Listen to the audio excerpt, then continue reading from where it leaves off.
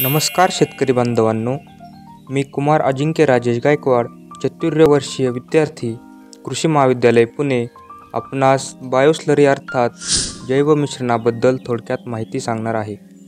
आपण जैव मिश्रण घरगुती पद्धतीने व कमीत कमी खर्चात कसे बनवावे हे जाणून घेऊया.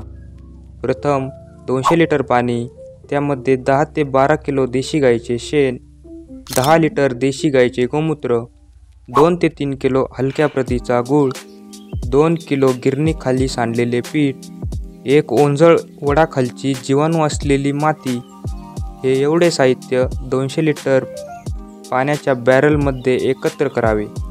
हे मिश्रण आंबविण्यासाठी अधूनमधून काठीच्या साह्याने ढवळावे.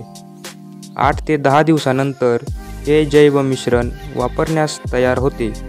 आता आपण जैवमिश्रणाचे समृद्धीकरण कसे करायचे हे जाणून घेऊया.